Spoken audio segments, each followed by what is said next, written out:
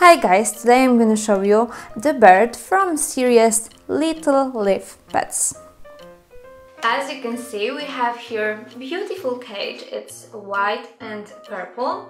And inside we have our beautiful colorful bird. Of course, it sings.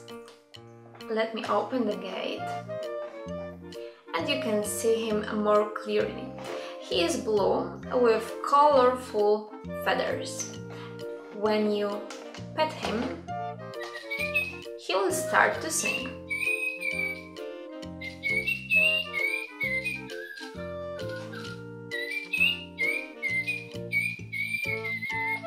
If you touch him long enough, he will start to say his own things.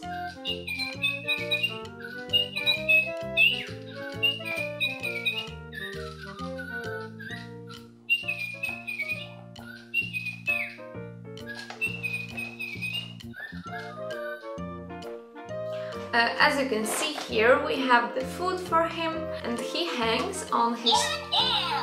As you could hear, uh, he just said something to us and uh, he sits on his swing.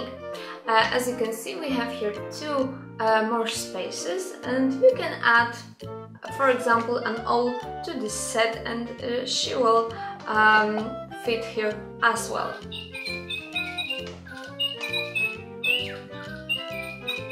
Besides singing, our bird can repeat our words. Uh, just press this button and record what you want to say. I love you!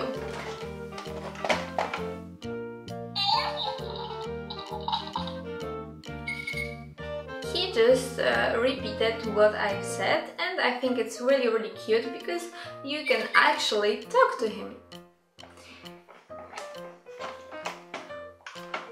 Cage is really nice, you can hang it everywhere you want and of course uh, your bird will talk to you for half an hour. If you won't touch him or talk to him for half an hour, he will automatically turn off.